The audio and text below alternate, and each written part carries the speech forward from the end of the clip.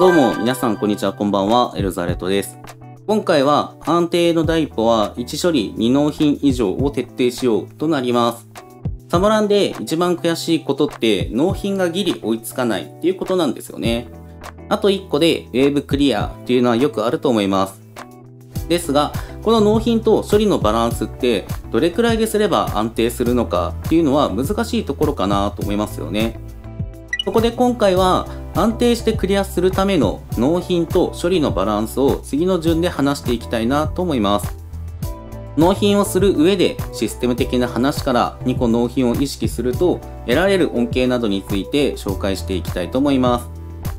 今後も更新をしていきますので動画を見てチャンネルを応援してくれる方はチャンネル登録と高評価をぜひお願いします。それでは早速解説していきたいと思います。まず、1処理2納品をする上で重要なのが、そもそもの大物の数を理解することが重要となります。大物鮭って倒せば倒すほど湧いて出てくるように感じますが、実は評価に応じて決まった数が出るようになっています。まあ、確定っていうわけではないですが、そういったデータを集めてる人がいましたね。で、今回は有識者のデータをもとに話をしていきたいと思いますが、通知としてはこのような感じになっていました。基本的に納品数に対して大物の数は少なくなっています。危度で言うと320ですね。この辺りでやっと同等の数になるっていう風になってます。ということは、処理をして2個納品をするようにしていれば安定したラインの納品ができるようになる仕組みになってるんですよね。ただ、これは全てを倒した場合となるため、実際には3分の2の程度の処理数になると思います。そうなると、最低限でも2個納品をしておかないと、安全どころか常にクリアが危険な状況になるっていうのがわかりますよね。伝説評価40で見ていきたいと思いますが、Wave1 で22個の納品が必要となってます。で、ここで仮に10体倒すとなった場合は30個の金いくらが出てきますね。で、この納品の仕方、1処理2納品だったとして、いくらは1人で20個運べる計算となります。ですが、足りません。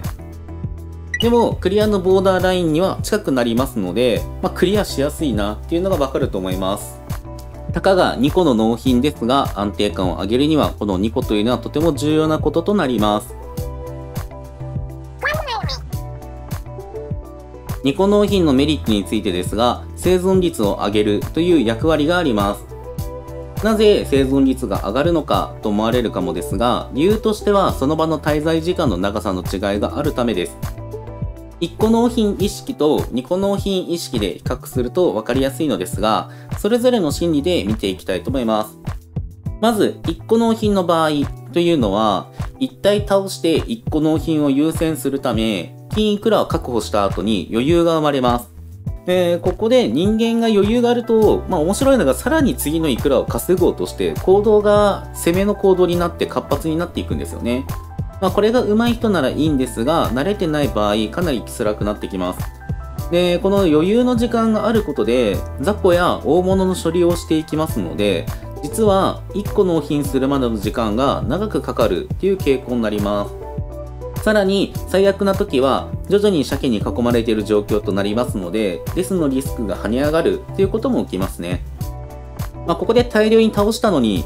実は1個しか納品できなかったっていうのもこういったことが原因です。ただ一方なんですが2個納品を意識していた場合ですが先に1個納品しないと行動が間に合わなくなるためカゴ付近に戻る行動を起こします。その上で次の2個目を取りに行くわけですが、取りに行く頃には雑魚鮭や大物がその付近に集まっています。この状況は実はとても良くて、大物によっては取ることを諦めて処理の優先など対応の仕方を冷静に決めれるっていう利点があります。実は臨機応変な対応ということができるんですよね。で、こちらが有利な足場の状況で動くこともできますし、判断ができるため、かなり動きやすいなっていうところもあります。要は1個納品することによって次の行動を起こすためのワンクッションを置けるということが生存につながるわけですその場に居続けたらやられてた可能性も高いですが1回引いて場所を見ることによって生存率が上がるっていう流れですね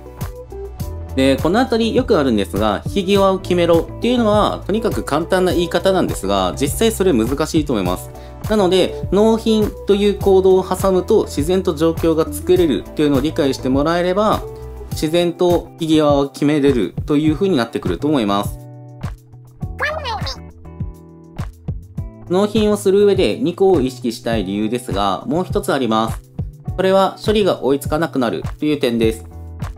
これに関してですが、評価が上がるにつれて、実は全処理と全納品はほぼ無理な話となっています。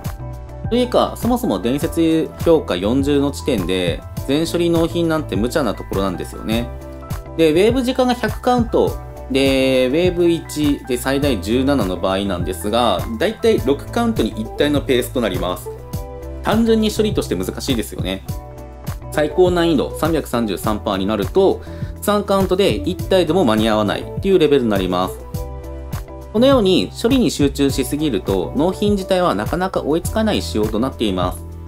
このこともあり、1対1納品というよりも2個納品するようにして余裕を持ってクリアできるように意識した方が安定するという話です。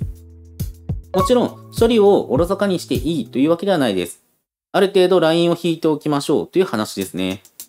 個人的には15から20は1ウェーブで納品したいなっていうのがあります。それぐらいできると安定感は抜群に上がりますね。で、処理の数を数えるようにしています。この場合だと、だいたい5から7体ですね。まあ2個3個納品で考えてますが、まあこれぐらいで考えてます。10体とかなるとちょっとあまりにも難しいので、えー、それぐらいがいいと思います。で、処理数さえ押さえておけば、それなりにいくらの納品具合も把握ができるようになってきます。これにより納品の状況にも意識がいきますので、意外と便利な把握方法となります。2個納品に慣れてきたら3個納品を意識するようにしてみましょう。この3個納品は常に出なくて大丈夫です。3個納品自体は時間がとてもかかるので余裕がある時でいいかなと思います。余裕がある時というのは自分と反対側に敵が湧いてて味方が処理をしている時ですね。この場合、そもそも反対側へ行くには時間がかかるため、納品を仕切ってしまった方が安定します。ですが、一つずつ運んでいると、雑魚鮭に囲まれてしまいますので、いくら投げを使って通り道に少しずつずらすということはした方がいいですね。まあ、こういったことをしていると、雑魚鮭や大物が来ても寄せた金いくらを回収しやすくなりますので、意外と便利な方法となります。他にも方法はたくさんありますが、慣れ始めてから3個納品をするようにすると、それ以上に納品もしやすくなります。とにかく効率化が重要になります。いくら投げなどを駆使して運ぶようにしていきましょう。最後にですが、効率を上げることを意識していきましょう。2個納品といっても状況によっては厳しいという場面はもちろんあります。例えば、肩パッドやタワーばっかり湧くウェーブなどですね。このあたりはランダムなので仕方がありません。この場合なんですが、そもそもクリアする難易度が通常よりも跳ね上がります。そのため、いくら投げや寄せといった行動が重要になります。いくら投げは先ほど話したので、寄せについて紹介したいと思います。寄せというのは、モグラや鉄板、ヘビといったターゲットに近づいてくる大物に対して行う方法です。この3体に関しては、カゴ周りに寄せた方が効率よく納品が可能という風になります。そのため、やけにタワーとか肩パッドが多いなっていう時は、慣れないかもですが、カゴ近くまで寄せて距離を近くにするっていうことが重要となります。ただし、この寄せにも注意があります。で、寄せはですね、基本慣れないうちはカゴぴったりに近づけなくて大丈夫です。慣れないと逆にデスします。で、カゴ付近のインクがないと、そもそも生存率は落ちてしまいますので、カゴよりちょっと離れた場所で最初はキルするように練習しましょう。数が少なかったり、慣れた頃にカゴ周りで処理をするように切り替えてみてください。まず、意識してカゴに近づけるっていうことが何より大事になります。まあ、距離は問わないっていうことですね、最初の時はね。で、これがうまくいけば、厳しいウェーブでもクリア率が上がります。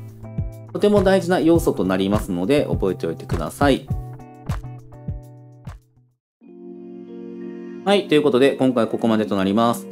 安定クリアへの第一歩は1処理2納品以上を徹底しようはいかがでしたでしょうか？1処理1納品はよく聞く話だなと思いますがクリアの観点から言うと、個人的には足りないなっていうのがあります。最初に紹介した脇の数の上限というのもありますし、安定することがまず大事ですので、ニコ納品はおすすめしたいなっていうところです。ということで、ご視聴ありがとうございました。チャンネルを応援してくれる方は、チャンネル登録と高評価お願いします。それではまた次回お会いしましょう。バイバイ。